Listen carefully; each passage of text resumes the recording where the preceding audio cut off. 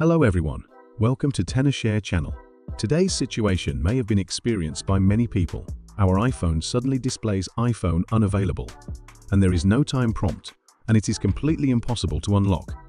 This situation is usually caused by entering the wrong passcode too many times. But what if you are in a hurry to use your phone?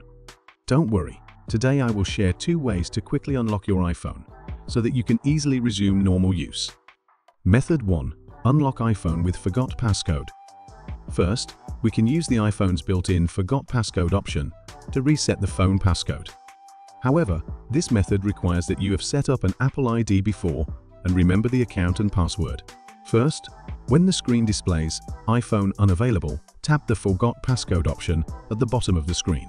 Then enter the Apple ID and password and follow the prompt to authenticate. After the reset is complete, your iPhone is unlocked successfully and can be used normally.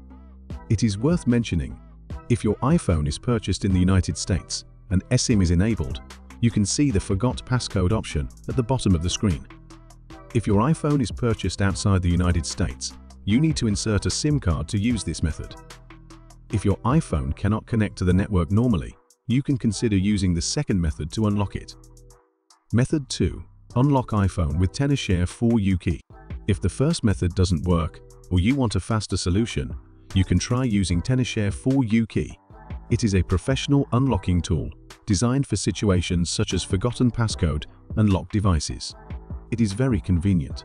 If you don't know where to download it, you can find the download link below the video. First, connect your iPhone to your computer using a data cable. Open 4uKey. Select Unlock Screen Passcode and follow the software instructions to enter recovery mode. Just press and release the volume up button, then press and release the volume down button, and then press and hold the side power button until the recovery screen appears. After that, 4uKey will prompt you to download the latest iOS firmware. Click Download and wait patiently for a while. After the download is complete, click Start to remove. The whole process only takes a few minutes. After the unlock is successful, your iPhone will return to normal and you can reset a new passcode.